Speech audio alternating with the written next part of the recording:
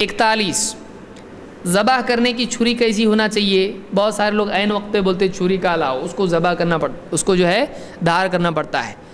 چھری اچھی طرح سے پہلے ہی سے دھار کی بھی ہونی چاہیے۔ اگر وہ نہیں کرتا ہے تو ایسا آدمی برا آدمی ہے، جو بغیر دھار کی ہوئی چھری سے ہی ذبح کرتا ہے۔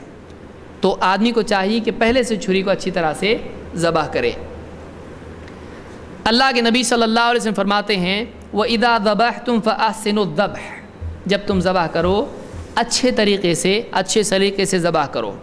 ولیحد احدکم شفرت ہو تم میں سے ہر ایک کو چاہیے کہ وہ اپنی چھری کو اچھی طرح سے دھار کر لے۔ فلیورح ذبیحتہ ہو اور اپنے ذبیحہ کو، جس کو تم ذبح کر رہے ہو، اس کو راحت پہنچاؤ۔ تم کو چاہیے کہ تم اپنی چھری کو اچھی طرح سے دھار کر لو اور اپنے جانور کو راحت پہنچاؤ۔ اور کر رہا ہے آدمی اور کٹ رہا ہی نہیں ہے۔ ویسے بھی آدمی گھبرایا ہوا ہوتا ہے، بہت سارے نئے لوگ ہوتے ہیں، تو کیسے کٹ کرنا سمجھ میں نہیں آتا ہے۔ اور اس میں اور دھار والی بھی نہ ہو چھری تو اور پریشان ہو جاتا ہے۔ اس کو امام مسلم نے روایت کیا۔ تو معلوم ہوا کہ آدمی کو چاہیے کہ وہ چھری اچھی طرح سے دھار کی بھی لے، اس میں جانور کو راحت پہنچتی ہے، جلدی سے ذبح ہو جاتا ہے۔ بعض لوگ کہتے ہیں تمہارے جانور کو بہت تکلیف ہوتی ہے اچھا کام نہیں ہے جو تم کرتے ہو، جانوروں کی جان لیتے ہو۔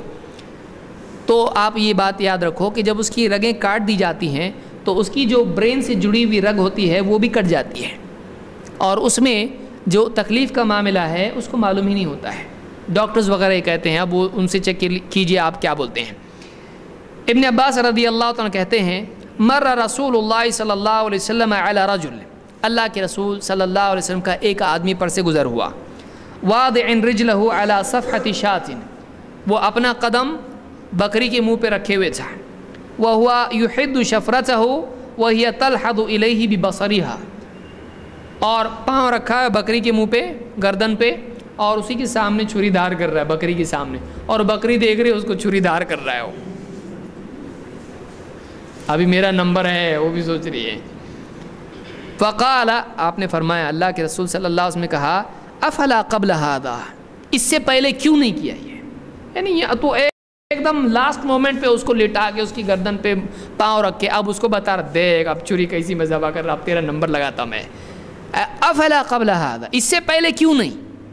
اتن، اس وقت سے پہلے کیوں نہیں؟ ترید ان تمی تہا موتتین کیا تو اس بکری کو دو بار مارنا چاہتا ہے؟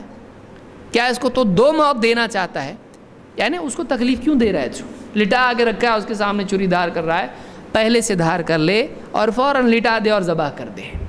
تو یہ کیا ہے؟ جانور کو راحت پہنچانا ہے۔ امام تبرانی نے الاوسط میں اس کو روایت کیا ہے اور یہ صحیح روایت ہے۔